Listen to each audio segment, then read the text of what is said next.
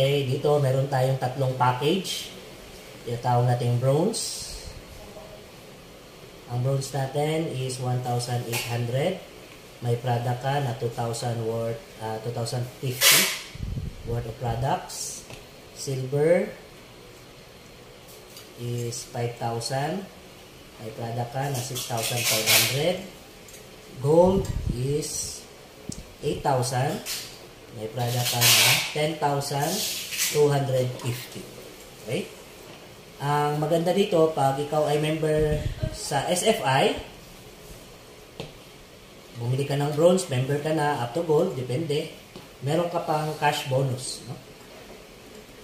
Na matatanggap. Cash bonus sa bronze is 2,000 pesos. Silver is up to 7,000 pesos. Gold is up to 12,000 pesos. Ngayon, benta mo yung product mo, bawi yung capital mo, may cash bonus ka. Ang tanong, paano ba makukuha itong cash bonus? Other term yan ay profit sharing. Paano? Every packages na mabibenta ng company, ang company ay nag-allocate ng 10% dyan para ibigay as profit sharing sa mga dealer. Paano? For example, ikaw ay nag-member, ang binili mo, for example, ay bronze. So, bronze ka, no? Every package po, meron po yung tinatawag na number of share. Ang bronze ay merong tinatawag na 1 share, silver ay 3 shares, gold is 5 shares. Dito madidetermine yung cash bonus mo. So, bronze ay 1 share. So, for example, wala kang na-invite, wala kang nabenta pa na product, pero yung company, maraming mga dealer na bumibili ng mga packages. Ha? So, for example, may nabili. After you, may bumili, isang tao, ang binili niya ay silver. Yan. Ang silver ay 5,000 pesos. Ang 10% is 500. Saan i-distribute ang 500? Siyempre, i-distribute yan sa naunang nag-join nitong silver. Sinong naunang nag-join sa silver? Ikaw. So, ikaw ang makakatanggap ng 500. Hindi mo yan downline. Okay? Bumili yan ng package sa company. Now, si silver merong 3 shares. And then, meron namang bumili, isang tao from Cotabato City. Ang binili niya, gold. Ang gold ay 8,000. Ang 10% ng 8,000, 10% ng 8,000 ay 800. Saan i-distribute ang 800? I-distribute ang 800 sa naunang nag-join itong gold. Ang naunang nag-join ay ang silver at ikaw na bronze. Papaano hahatiin yung 800? hahatiin ng 800 base sa number of shares nila. So, merong 3, merong 1, so i-add mo yan, 4 shares. So, i-divide natin into 4 yung 800. So, merong tinatawag na 200 pesos per share. So, dahil ito, si Silver, 3 shares siya, so 200 times 3, 600 pesos siya. Ikaw, isa, so times 1, 200 pesos ikaw. Wala kang na-invite, wala ka pang nabenta. Okay? So next, may, may sasali na naman. Example ulit, silver from Cebu. No? Ang silver ay 5,000, 10% is 500. Paano i-distribute ang 500? Sa naunang nag-join nitong silver. Merong gold, 5 share siya. Merong silver, at ikaw na bronze. So 5, 3 plus 1, 9 share. So ang 500, i-divide mo into 9 nahulog na parang 80 pesos, no? 80 pesos per share. So, 80 times 5 siya. So, meron siyang 400. Si Silver 3, 80 times 3, meron siyang 240. At ikaw, meron kang 80. Ganon. No? Hanggang sa may sumasali, may sumasali, may sumasali, meron pa rin makukuha dyan ang bawat isa. Hanggang ikaw din makakukuha din ikaw. Pag umabot yan, ng 2,000, ang kwentada niyan, 2,000 pesos, kasi bronze ka, maximum mo na yan. Ibig sabihin, ito na yung pinaka makukuha mo. Yan. So, minimum withdrawal natin, hindi 2,000. 500 pesos, pwede mo nang i-withdraw yan. So, sa maraming nagtatanong, kung magkano ba yung minimum withdrawal, 500 pesos lang, pwede mo nang i-withdraw yan. Now, ang tanong, sir, bronze, pwede ko bang i-upgrade yan into gold? Pwede.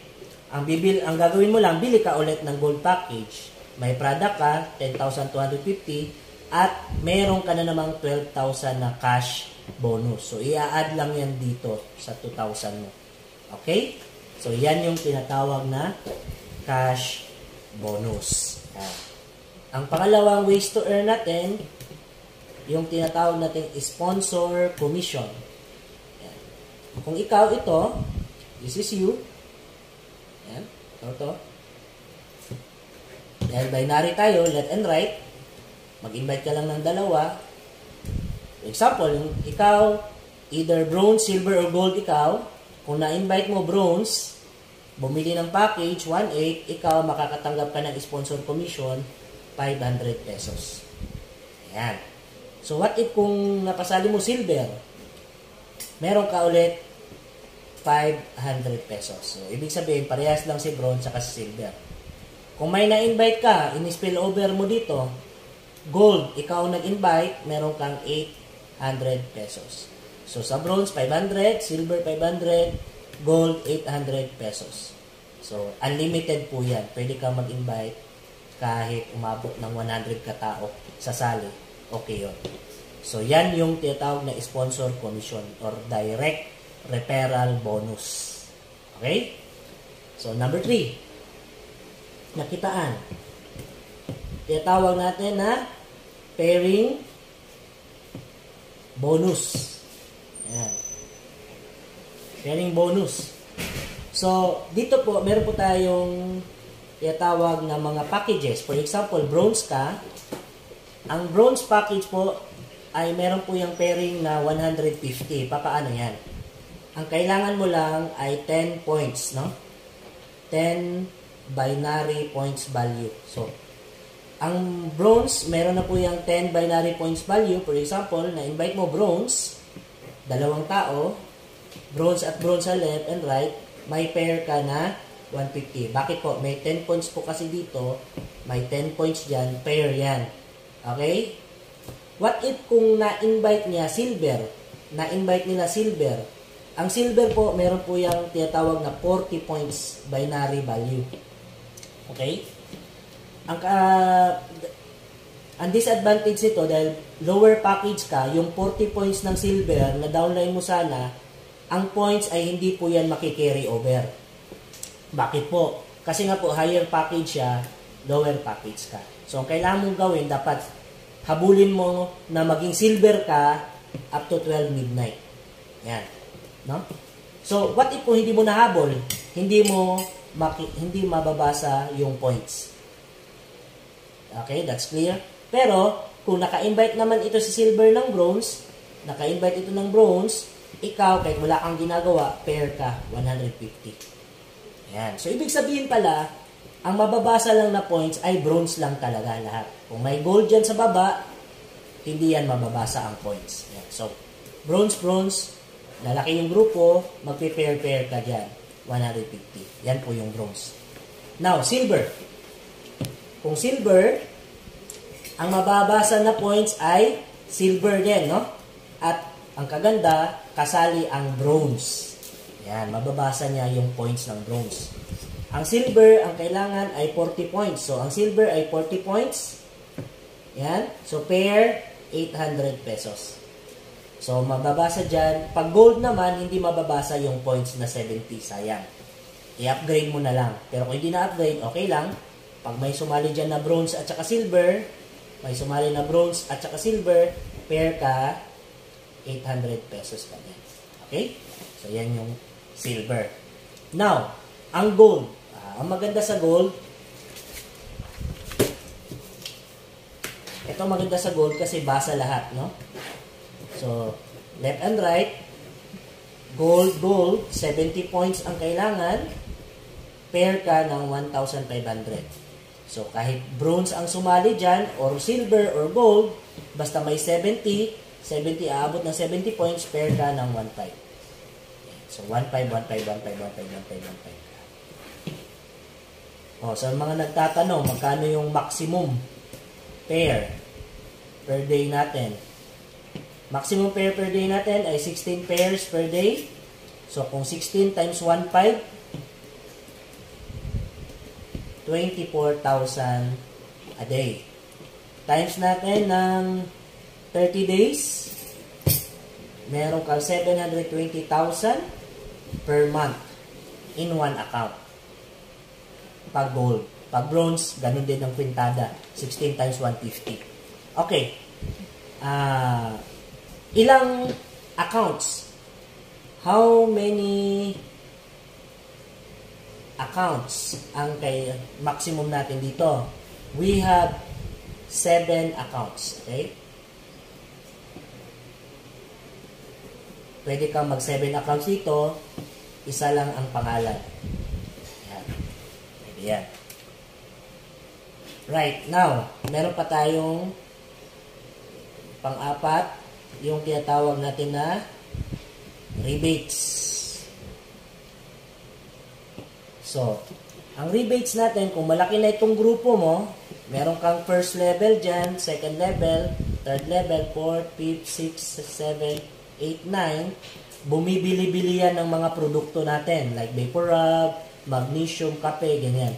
So, ang kailangan mo para magka-rebates ka, mag-maintain ka lang dito ng 1,500 uh, product points value. Okay? So, ang vapor rub natin, meron po yung 40 points. So, divide mo yan ng, ang 1.5 ng 40, kung rub lahat, uh, nasa 38 uh, ah, jars of rub. Yan. So, ang total niyan, mga around 2,080 pesos per month. Yan. So, maintain mo yan. Pag malaki ng grupo mo, kailangan ka mag-maintain ng 1.5. Pag sila rin nag-maintain din ng 1.5, 1.5, 1.5, makukunan mo yan ng porsyento. Okay yung personal mo, meron kang 5%. So, 1.5 times 5%, yan yung kita mo. Sa first level to third level, 3, 3, 3%. Fourth level to sixth level, 2, 2, 2%. Seventh level to ninth level, 1, 1, 1%. Yan. Kung magkano yung value niyan, automatic na yan, yung system ang magko-compute. Another earning po yan. Okay? So, meron pang another ways to earn. Yung tinatawag natin direct selling. Yan. Yung direct selling natin, simple lang, wala itong quota. Okay, sample, yung pinakamabilis nating benta, yung Vapor Rub, 150. Capital, 75. Okay? So, ang kita natin, 75 pesos. Kung nakabenta ka ng 100 pieces or jar in one week, meron kang 7,500 a week. Times 4 weeks, 30,000 pesos in a month. Yan, extra income. Ano pa? Uh, magnesium, no? Ang magnesium natin is benta 400, capital 200, meron kang kita na 200. Benta mo ng example 100 pieces in one month, meron kang 20,000 in a month. Yan, so another way to earn. Okay? Habang nagpapalaki pa ng grupo. Isa pa, dagdagan natin yung relaxing oil, 150 benta, 90 capital, meron kang 60 pesos. Benta mo, umabot ng 100 bottles, meron kang 6,000 pesos. Lagyan natin in a week yan, times 4 weeks, pwede kang kumita ng 24,000. So, sa tatlong product lang, Vapor Rub, Magnesium, and Relaxing Oil, pwede kang kumita ng 30,000 plus 20 plus 24, 74,000. Okay? Yan, tsaga-tsaga lang. Kung hindi ka masyado matyaga, okay, pwede na kalahati, 30,000. Kung hindi ka naman masyado matyaga, di, kalahati sa 30,000, 15,000. Okay? Yan, not bad. Oh, kaya pala maraming kumikita sa pag-network marketing. I think that's it, no? Ah, pwede ka rin maggawa ng reseller. Example, ito, no? Reseller, taga-benta. Example, Vapor Rub uh, mag-hire ka lang ng mga tao, 10 tao, sweldohan mo ng 500 pesos. Tao to ha, 10 tao, 500 pesos. Ang trabaho nila, benta sila ng 10 rab huh, per day. Times 150 mo yan, ang so, uh, total sales nila, 1,500 in a day. So, ibabawas mo yung kapital ng Vaporub, 75 times 10. So, 750. Ibabawas mo rin yung sahod, 500 pesos. So, 1.5 less 750 plus 500, may natira pa na 250. Kita mo na yon malinis na kada tao. E 10 tao ang i-hire mo, pwede kang kumita ng 2,500 in a day. Per day yan ha. Ilang araw sila magtatrabaho sa isang buwan. So, 26 days times 2,5, 65,000 per month. Okay? O, total natin ng 12 months, pwede kang kumita ng 780,000 in a year. Yan. Kaya pala mga negosyante, marunong mag-hire, malaki ang kita kahit tulog-tulog lang. So, pwede natin gawin yan dito sa success formula. Okay? So, sa mga marami pang katanungan, please contact those person na napakita sa inyo ng video na ito. Again, maraming maraming salamat po. God bless you all.